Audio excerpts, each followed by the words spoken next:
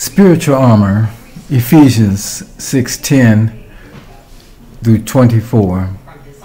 The power for the struggle, power for the struggle. Finally, be strong in the Lord and in the strength of his might. After the end of this letter, Paul says, finally. But there is one last thing I want to say. I've said much in this letter, but there's one last thing I want to say that be strong in the Lord and in the strength of his might. You can only be strong in the Lord's power. You can only be strong in the Lord's infinite power versus trying to make it on your own. In other words, lean and depend upon God. You see, Paul's letting them know there will be challenges that are internal and external. But we must realize that our, our struggle against the devil and his demons will be difficult. For your enemy, he goes around looking for ways to destroy God's people. He says, put on the full armor of God so that you will be able to stand firm against the schemes of the devil.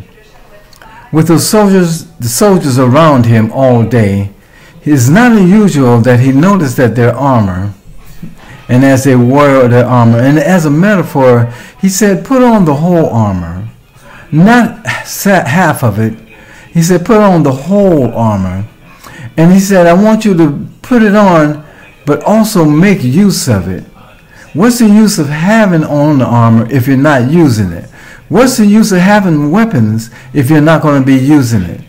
He said, put on the full armor so you might be able to stand firm against the schemes of the devil, against the wiles of the devil and his schemes, because you must know that they are coming, and your job is to stand and resist.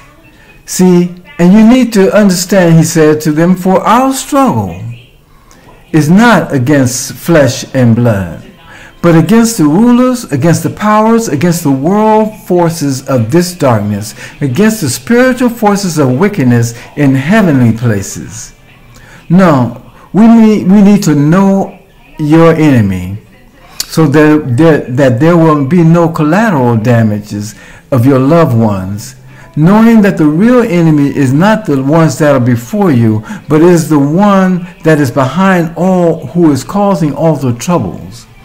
See, but rest assured, God has power over all of these. God has given a message, and God gives a message and instruction in the ordinary things of life. It is up to us to pay attention to what the Holy Spirit is trying to reveal to us as we live this life.